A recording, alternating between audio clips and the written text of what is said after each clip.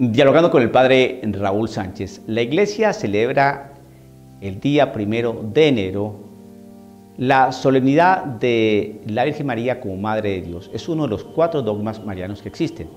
María como eh, Virgen antes y durante y después del parto.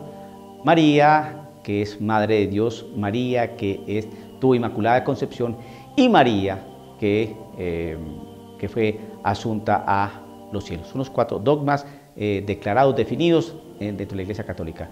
Se estaba asumiendo y teniendo en cuenta el dogma de eh, María como corredentora. No se, no se había definido, pero la gente, el pueblo de Dios, la Iglesia, pues dentro de su tradición, larga tradición, pues eh, dentro de la experiencia mariana, había tenido a, la Virgen María como, como corredentora. Sin embargo, el Concilio Vaticano II nos expresa con mucha claridad ¿no?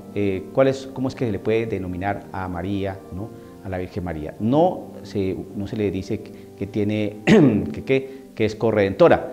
No obstante, pues se estaba trabajando y se estaba tratando de estudiar este dogma. Sin embargo, parece que a algunos no les parece eh, apropiado, adecuado que le digan a la Virgen María eh, corredentora.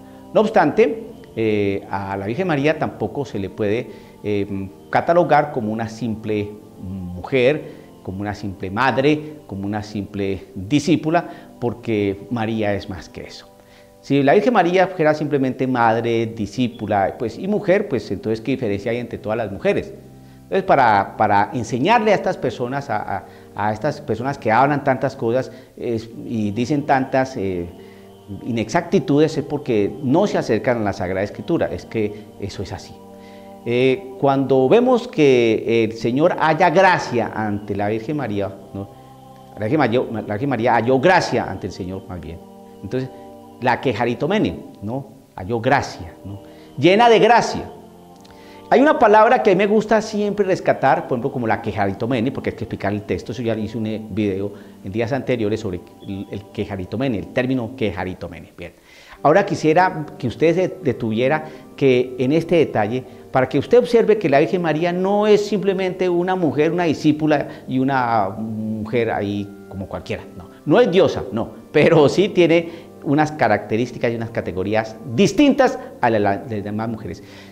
Queriendo reducir a la Virgen María como una simple madre, como una simple mujer y como una simple discípula, se pregunta uno, bueno, ¿y qué diferencia entonces tiene con las demás mujeres? Pues la Sagrada Escritura nos da la diferencia. Primero, que halló gracia frente al Señor, que es bendita entre todas las mujeres, que la llamarán bienaventurada todas las generaciones. Eso hace una gran diferencia. Ahora, este detalle es importante. Cuando el ángel se le acerca a la Virgen María, la saluda, le dice, salve María. La Virgen María se perturba y pregunta, ¿qué querría decir semejante saluda? saludo? Ella se interrogó, ¿Por qué me saludó así el ángel? Simplemente entre a Lucas y empiece a mirar el episodio de, ¿qué? de la anunciación. ¿no? Entonces María se preguntó, ¿qué querría decir semejante saludo? Es decir, que el ángel la saludó como una reina. ¿Por qué le dijo salve? Porque así saludaban a las reinas. ¿Quién es la reina? La madre del rey. ¿Quién es el rey? Cristo Jesús, el rey el rey de los judíos. Por eso el ángel saludó a la Virgen María como una reina. María se perturbó y se preguntó qué querría decir semejante saludo. Eso, esas palabras no las podemos quitar de la Sagrada Escritura, porque si María fuera una mujer cualquiera, pues el ángel, el ángel se acerca y le dice, hola María, ¿cómo estás? Ella no se va a aterrar, ¿por qué me saludó el ángel? ¿Cómo estás? No, pues es un saludo normal, pero si el ángel le dice salve, y ese salve, eh, cuando se saludaba a una reina o al rey, ese salve se acompañaba con un gesto. Por eso ella se preguntó qué quería decir semejante saludo. Si a mí me saludan todos los santos días, buenos días Padre Raúl, buenos días Padre Raúl, o buenas tardes Padre Raúl. Pero si viene alguien y me dice, reverendísimo, santísimo Cardenal Raúl, yo digo, espérese, ¿por qué me saludo así? ¿Qué querrá decir semejante saludo? ¿Ve? ¿Por qué le quieren quitar a la palabra del Señor su contundencia? La Virgen María es Madre de Dios por la sencilla razón de que Jesucristo es Dios encarnado. Porque por la sencilla razón de que Jesucristo es el Emanuel, el Dios con nosotros. Por la sencilla razón de que Jesucristo es Dios y por eso lo fueron a adorar unos magos o sabios de Oriente.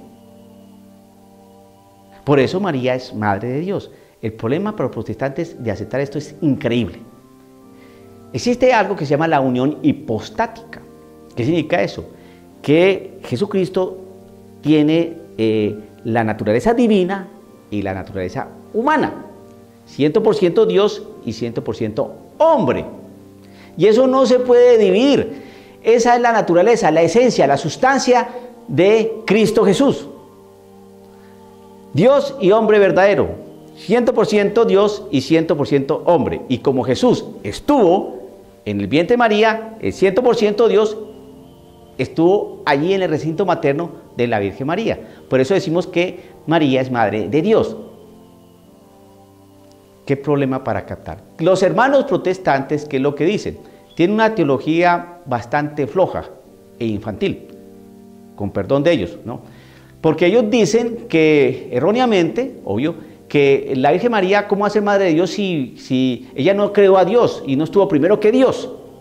No es, ellos no confunden el, el concepto de qué es ser madre y qué es ser creadora. No, estamos hablando de que María es madre de Dios. Y como Jesús es Dios, o le pregunto a un protestante, ¿Jesús no es Dios? Yo le hago la pregunta a un protestante, dígame hermano, ¿Jesús no es Dios? Claro que si me va a contestar un, eh, un unicitario me va a decir que no. O me va a un testigo de Jehová me va a decir que no. O un mormón me va a decir que no. Pero la gran, gran, gran mayoría, el noventa y tantos por ciento de las iglesias protestantes y sectas protestantes creen en la Trinidad. Entonces la pregunta es para estos hermanos protestantes.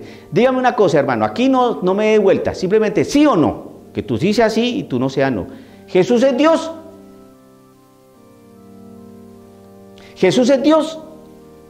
Si Jesús es Dios, María es madre de Dios porque Jesús estuvo en el vientre de María. Dos y dos son cuatro, cuatro y dos son seis, seis y dos son ocho y ocho, dieciséis. Que el Señor lo bendiga dialogando con el padre Raúl Sánchez.